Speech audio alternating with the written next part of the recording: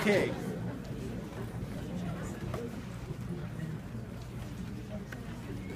Come on, Shawn. Okay, let's let's talk about um, focusing on Christ. Amen. Great. Now, what this is that I'm going to explain is uh, I'm going to do it in just a couple, you know, basically probably altogether two hours. Um, I did this for our small group leaders in Kiev. It was a two. It's a it's a two-day retreat um, with theory and then practic, practicals, uh, how to actually do it. Yeah. Um, I'm still trying to uh, package this. Um, it don't feel uh, great pressure to write down everything. I, I'm happy to send you my notes and these slides. Um, if you promise to give me feedback and as, as you use certain things, if we can tweak it um, to make it uh, more effective. Um, but I feel like God's really blessed. Um, our staff is getting a hold of a lot of this, um, and it's helped a lot of our staff because when, you, when you're a couple leading 350 people, um, you can't do everything. Right. That's a good way to say that. And It's a hard teacher. You know, it's interesting because, and we're going to talk about this, we'll look at this in the scriptures, but there's so much power and potential in every Christian. Yeah, bro. And often, because of my leadership, I actually put a ceiling over what they believe they can do. And then they are dependent on me. And my best people in Kiev who don't work for the church, they are so called on by so many disciples to solve so many problems. And the Christians don't understand that the greatest source of fixing anything is Jesus himself. They'd rather start with us than with Jesus. Because they see us, they don't see Jesus. And when you're weak in your faith, you want to talk to something you can see. But if my guys, if my top crew, if my 20% of most of my effective non full time ministers are busy solving all the problems, my church will not grow. But if I could literally free up, if I could free up that 20% of the church that literally they have three times the amount of time just to convert people and be hospitable. And by that, also set an example for the other 70% of the church that this is how we live. And that Christians could actually go to Christ to fix their problems. Mm. The church could get unstuck. Right. Yeah. And we would stop talking about 20, 40, 60 growth and start talking about 200, 500, bro. 1,000. Right. The anything is possible. Right. Yeah. So somehow I have to retool myself in the way I interact with people that they don't turn to me, they turn to Christ. And that's what this instrument, this tool is about, which I think is also good for me, that I can learn how to depend on Christ more for how I'm doing personally. And Christ is real. Amen. He's alive. Yes. He's in us and he's with us. Amen, bro. And sometimes we just have to use our imagination a little bit, which our parents told us not to when we were kids. You know, there is no monster in the closet. It's not there. If you can't see it, it's not there. But the Bible says the exact opposite. The most important things are things you cannot see. Right. And what you see really isn't that important. So we just have to flip this upside down and help the church to realize Jesus is the answer. I'm here to guide you in connecting with Jesus, but I'm not your Jesus. And I know all of us, uh, some of us do better with that than others, and, and you know, there's times when I'm doing well with that, and there's times when I'm not. I like that people depend on me. It makes me feel like I have a sense of worth. But that's not good. That's not good. Mm-hmm. And sometimes I get so busy, then I kind of snap and I start to actually do things probably properly. Mm-hmm. Like a brother calls me and he says, I'm doing terrible in this. And I said, Well, and he said, Will you get with me? And I said, I'll get with you. Let's get together in three days, but here's what I want you to do I want you to read your Bi- Bible every day for these three days and pray about this and study this out, and then let's meet in three days. And he said, Okay, I'll do it. I called him two days later to confirm the appointment. I said, Did you read the Bible every day? Did you say this? He said, No, I didn't. And I said, Then I'm not meeting with you tomorrow. And that's very unusual for my character, just so you know. Um, but he's got to figure this out. I am not going to be able to fix this. Yeah. Come on, bro.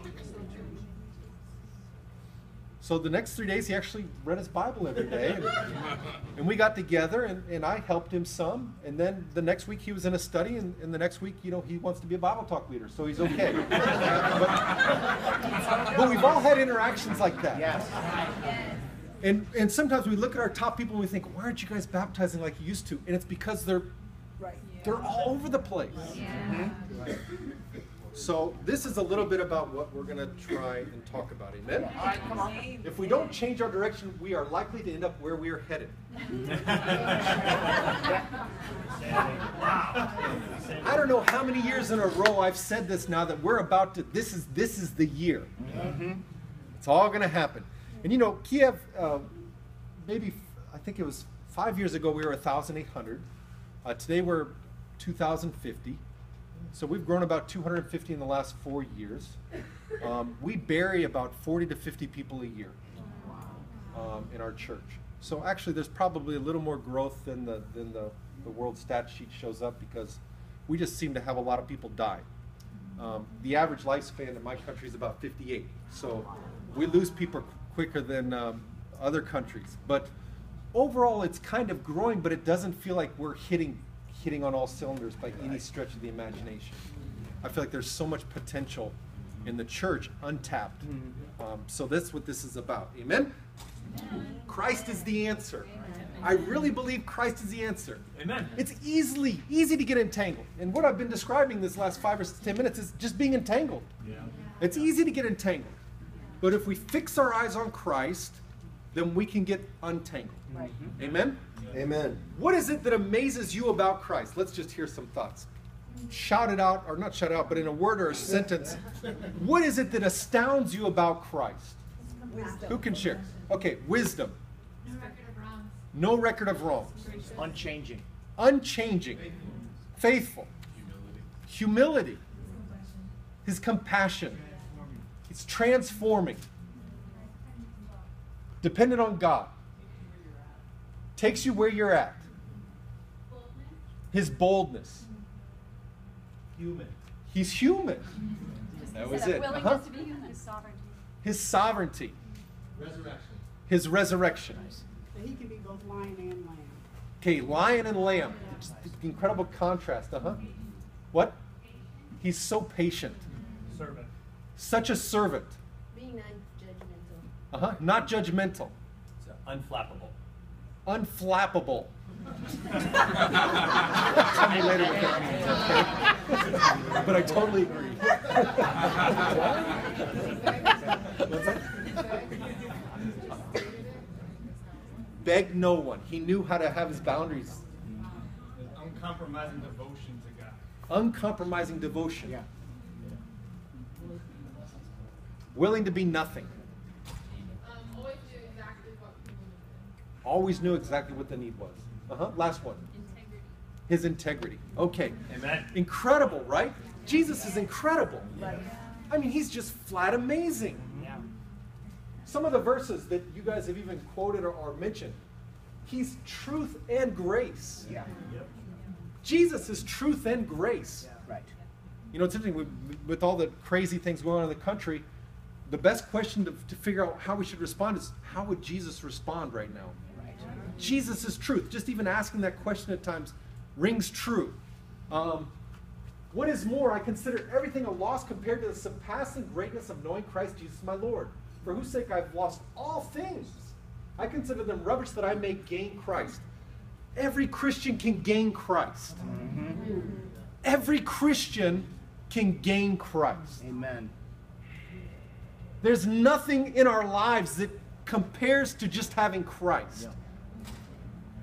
There's no diploma, there's no language that you've learned. There- there's nothing that can quite equip you for life like Christ. Right. Just Christ. Right. Philippians 1:20 For to me to live is Christ and to die is gain. Christ is everything. Amen. Colossians 2 9 through 10 For in Christ all the fullness of the deity lives in bodily form. Can you imagine? Wow. Yeah, right. Wow. Are you serious? and you've been given you and I'm thinking about every single Christian in our church, not just thinking about us in this room.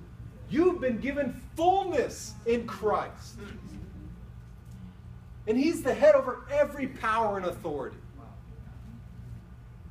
Could there really be a situation where someone's stuck if this is true? Right. Ephesians 3:20 Now to him who's able to do immeasurably more than all we ask or imagine according to his power that has worked within us. Immeasurably more. For you died and your life is now hidden with Christ in God. When Christ who is your life appears, then you also will appear with him in glory. We no longer exist. We died. Christ now lives in us. If we can just focus the Christians on Christ, if we could just focus on Christ, what is possible? We have to be Christ focused. Metanoia. So thankful for Ed and his study on metanoia. We did it in Kiev a few years ago. It really helped us get the church turned back around. And uh, so thankful for that. And I want to suggest that we have a moment of metanoia. Look at Proverbs 29 18. All right? Come on.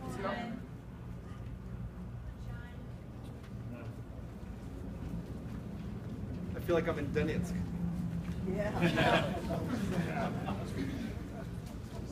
Although, praise God, it's peaceful here in Donetsk. You know, Christ is the answer. Let's be convinced Christ is the answer. You are not the answer. There you go. Let me take that pressure off of you. I'm not trying to put anyone down. I'm trying to set us free. All right. Amen? Amen. Proverbs 20:19.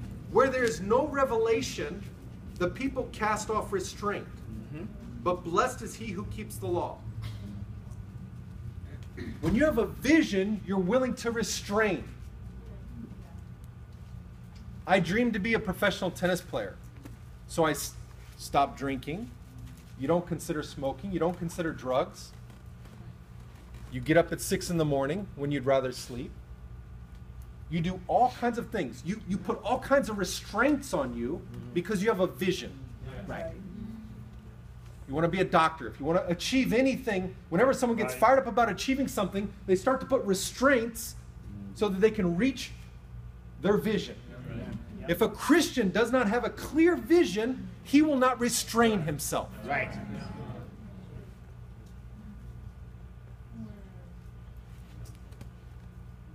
Hmm. Right? Yes. But if I have a clear vision of what I want, I'll do almost anything to reach it if I really believe in it. Amen.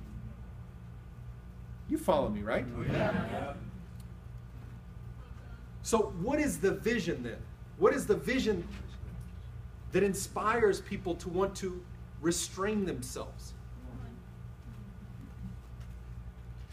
I put before you that the vision for the Christians should be to be like Christ. That I'm actually willing to deny myself to be more like Jesus.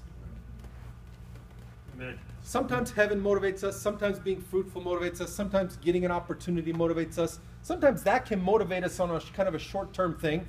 But, you know, as we all know, we're all kind of different.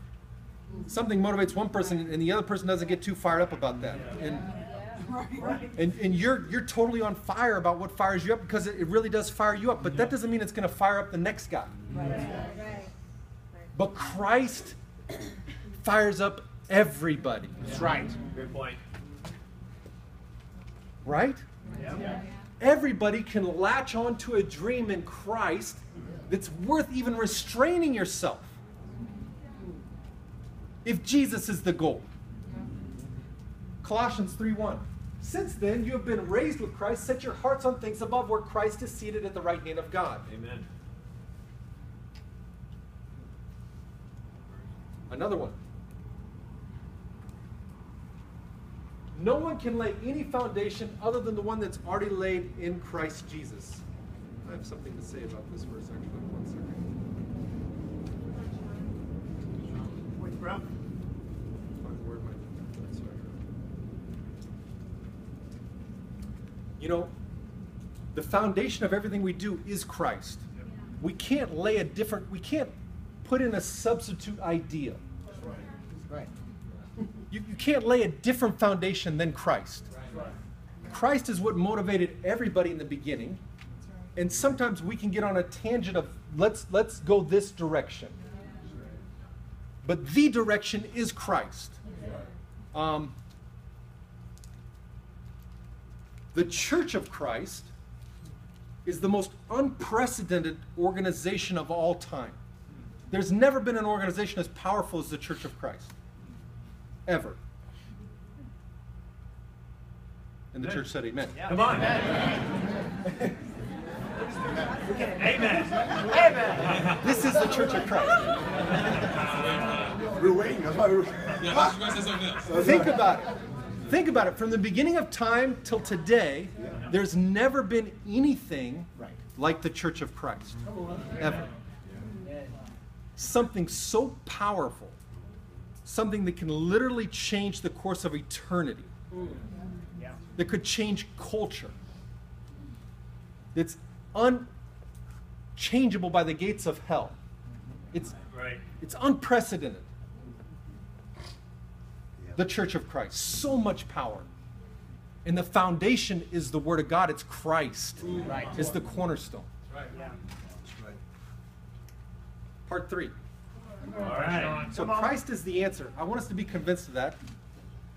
And we'll come back to, to helping Christians get focused on Christ. But I want to talk about the disciple one second, because I've sinned in this area for sure. I don't view the disciple the way the Bible does.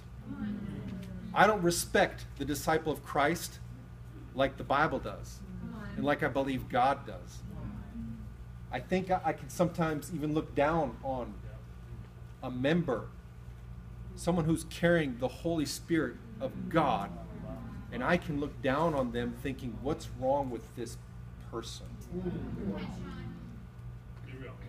And, and I think I need to repent. No, I'm sure I need to repent.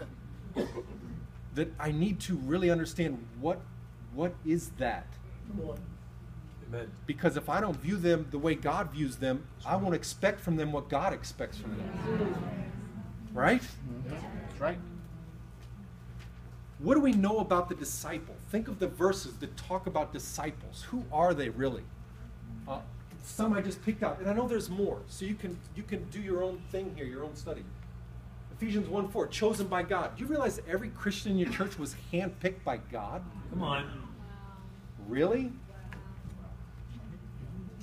I mean, the creator of the universe kn- knows what he's doing, right? What sports teams are in this area? Help me out. There's none, none. They don't have any. Baltimore Ravens. Yeah. Washington Redskins. None above. How do you get on a sports team? How do you get on the, the World Cup team? United States World Cup soccer, that's a big thing in our part of the world. How do you get on that team? What if you know Obama? Does that get you on the team? No. What if you know some? What if you pay a lot of money? Could Bill Gates get on the team if he wanted to? It's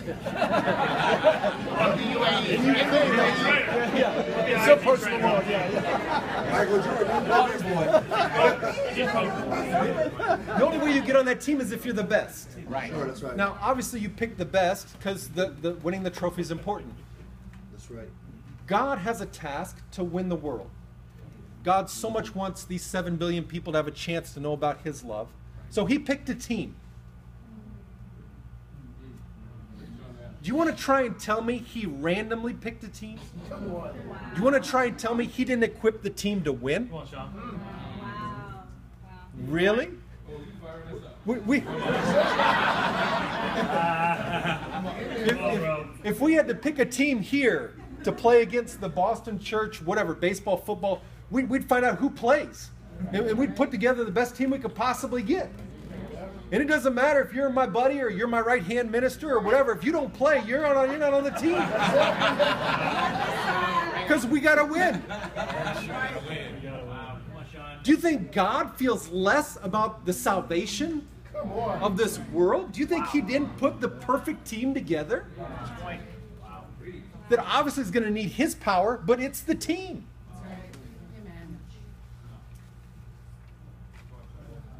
Come on, Shawn. right?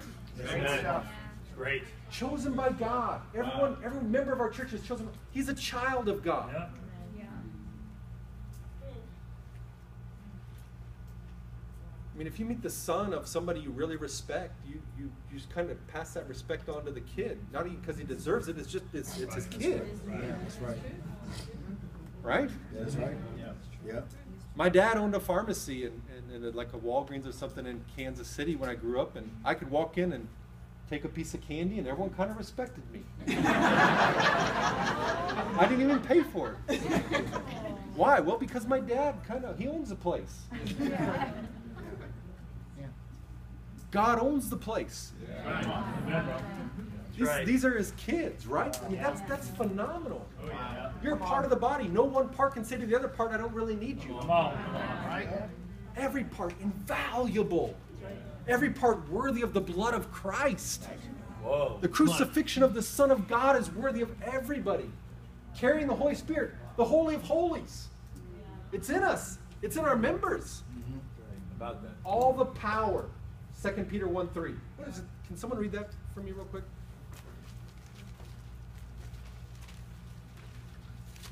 Second Peter 1 3. His divine power has given us everything we need for a godly life through our knowledge of Him who called us by His own glory and goodness. What a great verse. Oh, by our knowledge of, by our focus on Christ, all the power is made available. Dang.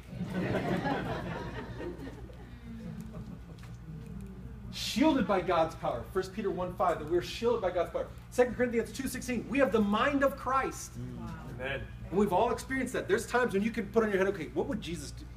When you really start thinking about Jesus, you know exactly what he's thinking. and you don't need a degree to know exactly what he's thinking. And it's clear as day. As soon as you don't focus on what you think, or what that brother told you, or what that sister did, or whatever, as soon as you think, what is Jesus thinking about this? It's obvious. Come on. We have the mind of Christ. Yeah. Yep. A disciple can grow in everything. Speaking the truth, love, we in all things grow up into Him who is the head, that is Christ. Every disciple can grow.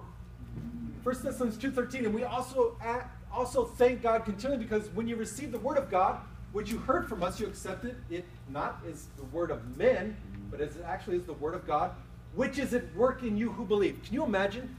The word of God is at work at you even when you're not even thinking about the word of God. It's always at work in us. Amen.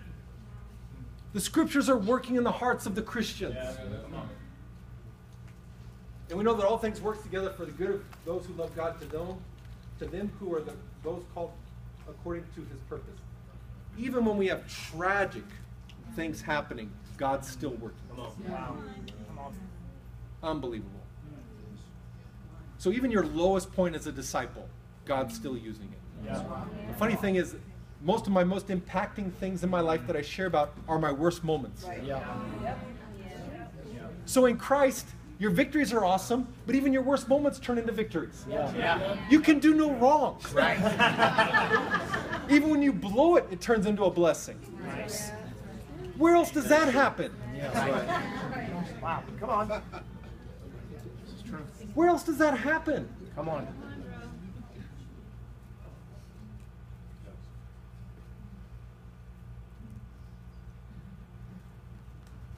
The amazing disciple. The amazing disciple. Disciples are amazing. They're all completely unique. They have their own universe of ideas, unique experiences, memories, life situations, reactive choices, genetic blueprint. He has it all. Disciples have all the resources he needs in God. Priority is to get him unstuck. True change, the natural process of the work of the Spirit, 2 Peter 1 3, is divine power has given us everything we need for life and godliness through our knowledge of Him who called us by His own glory and goodness. Even if you messed up 77 times a day, oh, goodness. I so undervalue and underacknowledge the power of the disciple. What God's put into him. Unbelievable. You know, sometimes you look at that story in the Acts, right? When the persecution hit and they all scattered and churches were started all over the world. I thought, if you scatter my church right now, I may never see him again.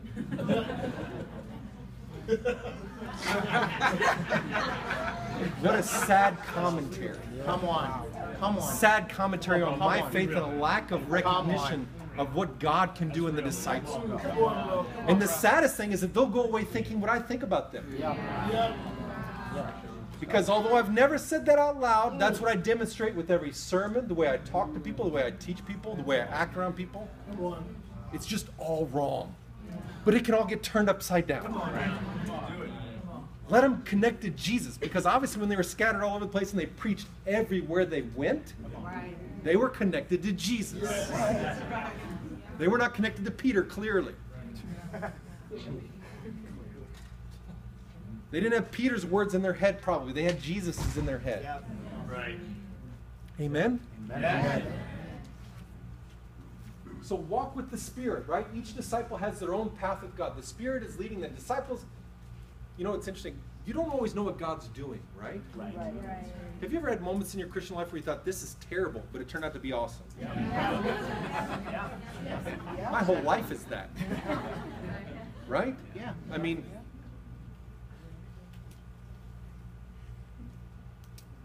me and my wife, we started dating. Three months later, we were engaged. And then two months later, uh, a month out from my wedding, we broke off our engagement. Uh, because uh, s- a brother and sister came over from the States, saw our dynamic, and felt like this isn't good. I didn't understand it at the time. I thought this is really bad. At the time, it didn't feel right. Later on, it became very clear why God did that. Point. It's, it probably saved our marriage, Wow. right? Getting kicked out of the Ukraine was the biggest disaster that had ever happened to me. I couldn't believe this happened to me. But if I didn't get kicked out, I wouldn't have gone to Moscow. We wouldn't have done Hope. We wouldn't have been with the Flemings. I'd be a totally different person today. I just didn't know what God was doing. We all have these stories. We all understand that. We don't always know what God is doing.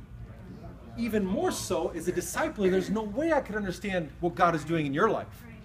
But yet, I've sometimes so confidently affirmed this is what you've done, this is what you need to do, and this is what God's going to do.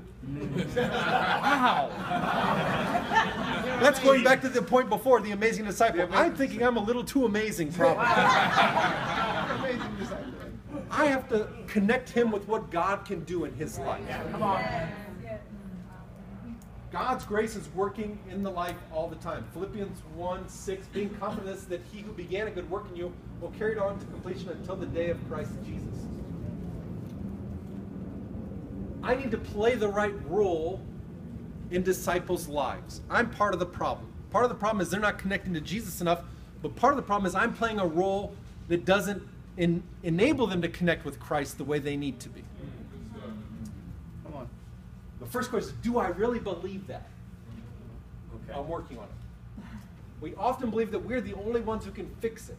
Mm. That ministry's not doing well. Okay, I'll go. I'll go lead that ministry for a while. I'll get it turned around. Then I'll come back over here, and I'll get that, and I'll do that, and that married. Okay, I'll give it that married couple then. Okay, and I'll do that, and I'll do that. And I'll, it, it never ends. Yeah, sure. It never ends. Yeah.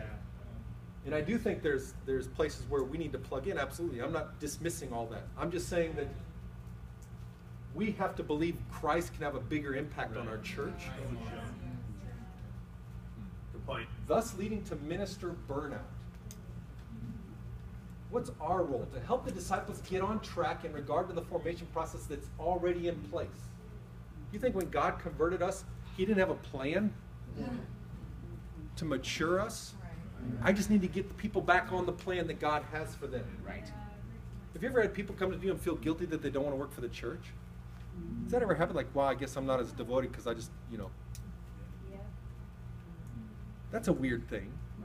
It's not everyone's role to work full time for the church, right? Yeah. Help the disciples to get on track in regard to the formation plans that are already placed. Have faith in God's intention and to be in agreement with Him. Okay, let's let's go to the next part here. All right. How are we feeling about that last piece? Great. That was inspiring. Awesome. The disciples are amazing. Now, I was a tennis player, I had a coach who didn't believe in me very much, and I didn't accomplish much.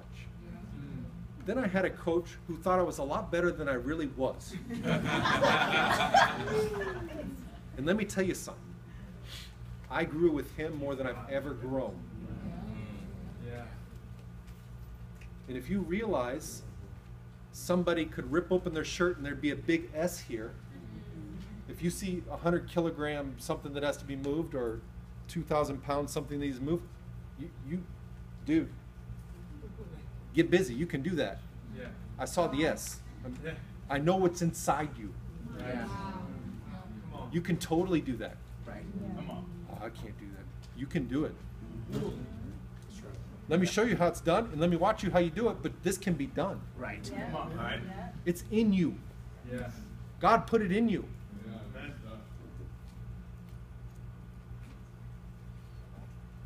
Sit down. Find me five verses that, that prove my point. Find me five verses right now that prove my point that you could do anything with Christ. I can't do that. Okay, I'll find five verses that I'll find five verses that tell you you're wrong right now that you could do anything with Christ. Yeah. Come on. Good stuff. Sometimes it's just easier to be stuck. Yeah. Just a lot easier to be stuck. Okay. Christ focus. So if we're going to focus on Christ, that means we can't focus on the problems. Let's talk about this a second. But just just stretch your legs. I'm afraid to do another fellowship break. I won't see you until after dinner. but if you could just literally stand up and hug a couple people, I think keep the blood and the love in the room, okay? You're like easiest. I forgot you need a hug? You're an evangelist and you read scriptures? No, it's not. No, it's not. You're on someone. I'm sure you're on there.